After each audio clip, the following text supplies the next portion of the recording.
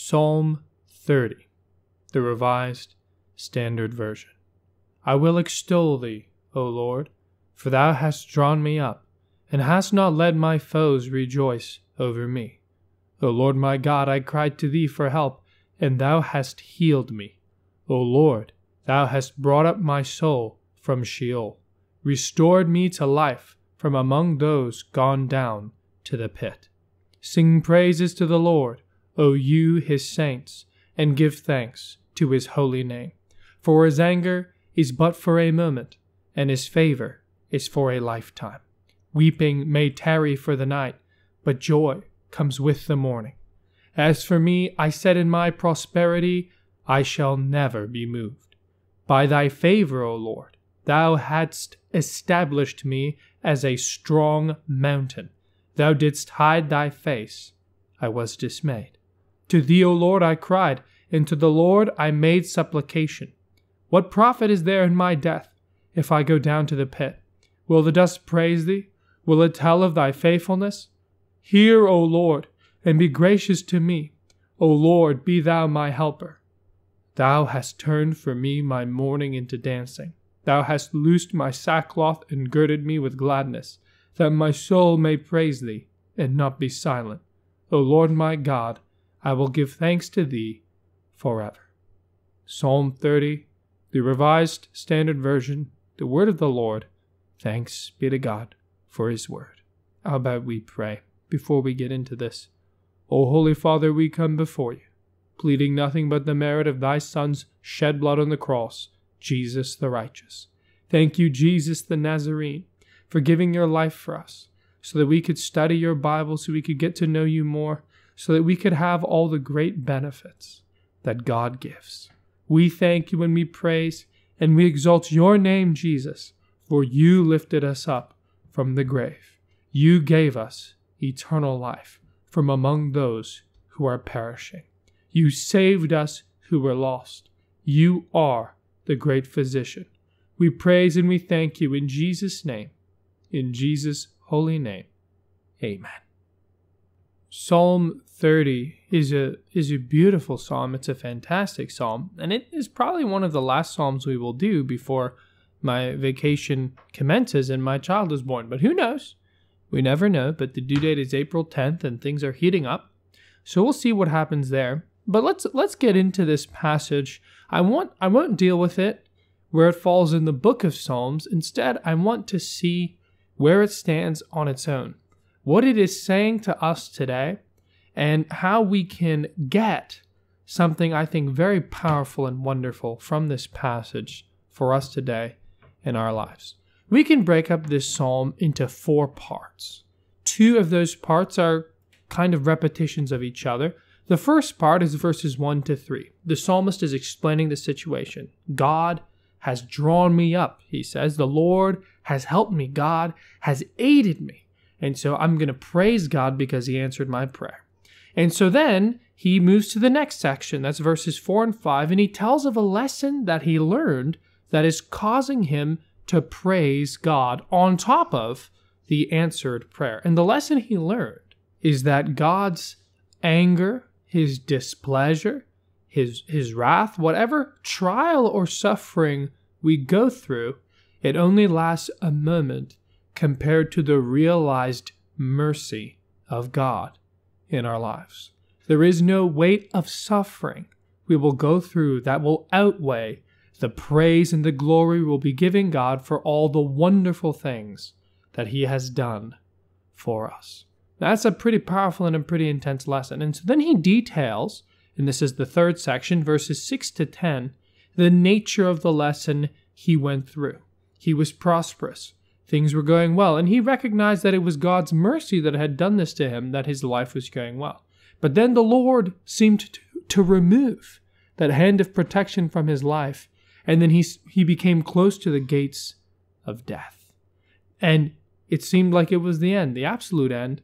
But yet, in that moment, there was a turnaround.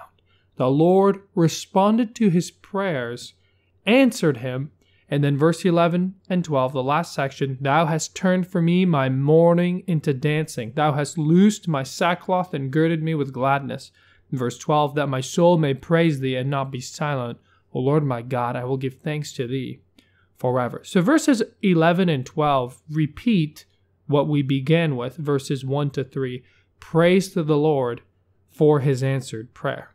Now, the actual answer is not given, it's implied between verses 10 to 11, and based on the beginning of the psalm, that God has answered the prayer and rescued the psalmist. And what we can take from this, as I said, there are two principal lessons. Two principal lessons. And these lessons are causing the psalmist to write to us and to tell us we owe a debt of praise to God. He is inviting us to sing with him to the Lord of God's great deliverance. That's what this psalm is about. It's an invitation on how God delivers people from certain death, how he rescues people from momentary sorrow and brings them an eternal weight of glory. And he's inviting us, in light of these two facts of who God is and how he functions in the world, to praise him. And that, in fact, because this is who God is, we owe him a debt of praise. Let me zero in on verses 11 to 12. Thou hast turned for me my mourning into dancing. Thou hast girded my sackcloth, thou hast loosed my sackcloth, sorry, and girded me with gladness, that, that my soul may praise thee and not be silent.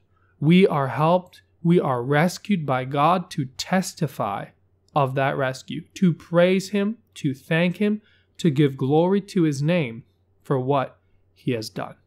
Now, we need not, and I don't think we should interpret this psalm in a purely literal fashion. Now, it is true, and I, I, do believe this is true, that every Christian will have testimony of how God has helped them.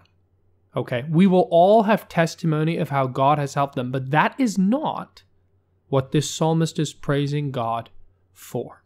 There is an answered prayer, but the specific nature of that prayer is verse 3. O Lord, thou hast brought up my soul from the grave, restored me to life from among those gone down to the pit. The grave, the pit, these correspond to the outer darkness that Jesus talks about and to Hades in the New Testament. These, these are the domain of the dead that nobody wants to go in, the place of torment and unhappiness this is not where any of us want to go. And the psalmist is praising God because he has brought him back from death. Now, I think we see a direct comparison to Christ here because Jesus is a man as well. He's the Son of God, he's fully divine, but he was also a man. And so the Bible tells us in Hebrews 5 7 that during the days of Jesus' life on earth, I'm quoting now, he offered up prayers and petitions with fervent cries and tears to the one who could save him from death, and he was heard because of his reverent submission. Jesus Christ was raised from the grave because he prayed and said, Father, into your hands I commit my spirit. Father, forgive them, for they know not what they do. The Father responded to Christ on the cross because Christ prayed. Jesus prayed. And because Jesus prayed, he was heard. Because he cried out, he was answered. So we, we see this direct comparison to Christ. But we ourselves, because we pray, we are rescued from damnation. Because we pray, we need not die. We can have eternal life. Our body, our soul, all that we are, need not go down to the grave in sorrow, like those who have no hope which is what verse 3 is implying. Those who go down to the pit, they don't have hope. There's no hope. There's no profit in their death. Verse 9 Will the dust praise thee? Will it tell of thy faithfulness? It's an end. It's an unhappy end. But we, as believers who have put our trust in Jesus, Jesus has brought us back from the dead. He has given us life. He has given us eternal life, a well of living water welling up within us. He has given us a great and a wonderful deliverance. That's what this psalm has in mind. And because of this great deliverance, we owe him, meaning God, meaning Christ, a debt of praise.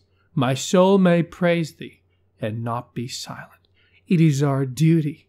It's a joyful and fantastic and amazing duty to sing songs to the Lord because of how wonderful and amazing He is, because He really has helped us. He really has rescued us. And there's another lesson buried in here, which I want to say before I move to our homiletical paraphrase, which is that we may go through times of trial. We may feel like God has looked away from us. And at times, it, indeed, it seems that God has left us to a place of testing, to a place of trial. But that is for a moment. His favor is for a lifetime. Even should we sin and the Lord punish us for our sin, because the Bible says He chastens His children, right? He chastens us. That chastening, that anger, it only lasts for a moment. His mercy is upon us for a whole life, meaning that anger is enveloped by His mercy. Whatever we do in this life as a child of God, even when we displease our Heavenly Father, and He brings punishment to us, the purpose of that punishment is not to make us suffer, but it is surrounded by His mercy. That's the meaning. The anger of the Lord is for a moment, but even during that moment of anger, His mercy, which lasts your whole life from beginning to end, is over you. Do you realize that? For if we should judge ourselves, we would not be judged. For when we are judged, we are chastened of the Lord, so that we should not be condemned with the world. God's punishment is His mercy upon us to restore us, to help us, to bring us to that place of praise. To bring us to that place of praise. And so the psalmist, he gives us these two lessons. The Lord has delivered us from certain death. He has rescued every single one of us, and He has done so through the cross of Christ. And on top of that, when we sin, when we fail, whatever time we go through where we feel abandoned, forsaken by God, that is a moment compared to the lifetime of mercy He has promised us. So, therefore, in all situations, in all circumstance, we owe a fantastic debt of praise to the Lord.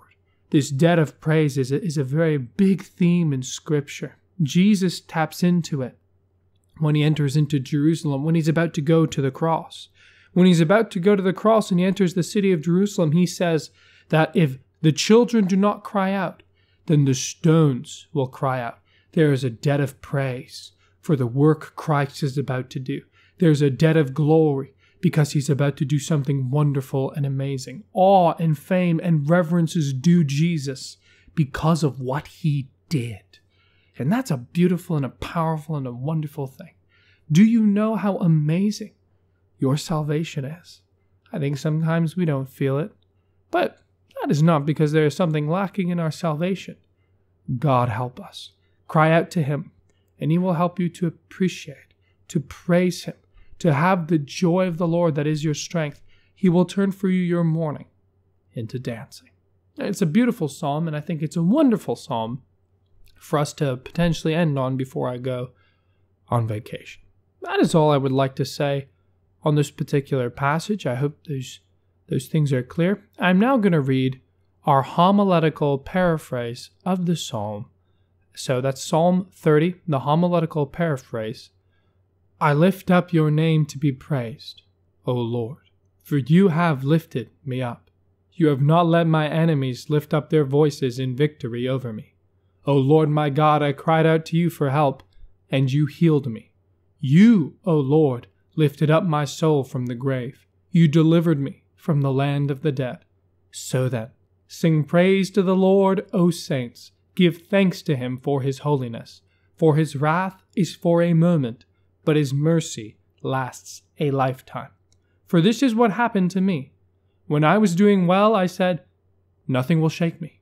For by your mercy, O Lord, you made me secure like a mighty mountain. But then you turned away from me, and my joyful life crumbled. I called out to you, O Lord. I poured out prayers to you. What benefit is there for me to die?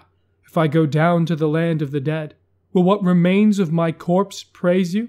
Will it sing of your unfailing love? Please hear me, O Lord. Have mercy on me. You are the one I depend on. You have turned my mourning into dancing. You took away my funeral clothes and clothed me in joy, so that my soul would praise you and not be silent. O Lord my God, I will give thanks to you forever. Psalm 30, a homiletical paraphrase of the psalm.